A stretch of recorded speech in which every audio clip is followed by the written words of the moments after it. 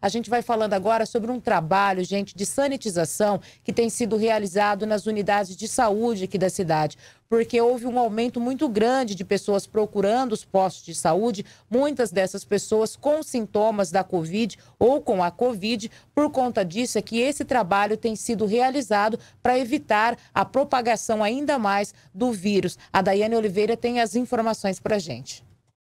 Esta semana, a Prefeitura, juntamente com a terceira bateria de artilharia antiaérea aqui do município, que é do Exército Brasileiro, fecharam uma parceria para a sanitização das unidades de saúde pública aqui do município. Quem vai falar um pouquinho mais a respeito é o assessor de gestão em saúde aqui do município, o Afrânio. Afrânio, olá, muito obrigado por conceder essa entrevista. Explica um pouquinho para nós como que está funcionando esta sanitização.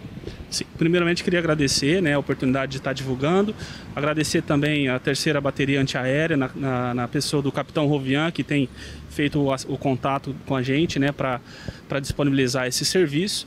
Bom, a sanitização, na verdade, é, ela está sendo feita desde o ano passado, no início da pandemia. Ela foi iniciada com o nosso pessoal da, da infraestrutura, do departamento de obras, que fazia, em parceria com o departamento de endemias. Esse ano a gente é, começou novamente a fazer de acordo com o aumento da demanda de atendimentos, que a gente percebeu um alto fluxo né, de pessoas é, que estavam procurando suspeitas de Covid, né, com, com sinais positivos de, de, de Covid. E a gente verificou essa necessidade de fazer essa sanitização do ambiente para que a gente possa reduzir né, os níveis de contaminação e transmissão. Afrani, quais as unidades que já receberam, o Hospital Auxiliadora, você comentou um pouquinho antes, que já recebeu esta desinfecção? Qual a programação? Isso, o Hospital Auxiliadora iniciou, né, foi a primeira unidade aqui que nós tivemos a sanitização. É, a UPA também já foi realizada, né, a gente sempre priorizou pelos locais de mais fluxo. E agora vamos iniciar os, os, as unidades de saúde que, faz, que são referência para o atendimento à Covid, né, que são as unidades de atenção básica. É, a gente fez hoje São Carlos, é, na semana que vem vai iniciar os outros, de acordo com o fluxo de atendimento que a gente verifica também no, no dia a dia. Dentro desta programação, a ideia é retomar uma vez a semana as unidades com maior fluxo. Qual a duração deste programa?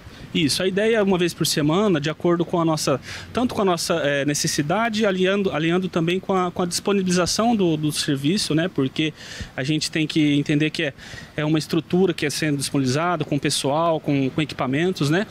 E a gente verificou que uma vez por semana, inicialmente, seria necessário suficiente para nos atender, né?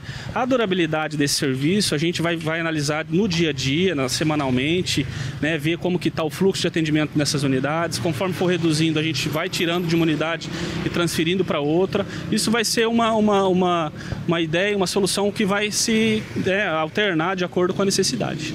E essa análise vai surgir também de acordo com os dados do boletim epidemiológico. Exatamente, de acordo com os dados do boletim, de acordo com as reuniões também do grupo condutor, de acordo com é, o que a gente for verificando na evolução dos casos. Afriano, muito obrigado pela sua entrevista. Então está aí as informações a respeito da sanitização, a desinfecção das unidades com maior fluxo de pessoas, de aglomeração, a, conforme a necessidade de procura. E o município está aí atento, juntamente com o Exército Brasileiro, às medidas de segurança que a população necessita neste momento.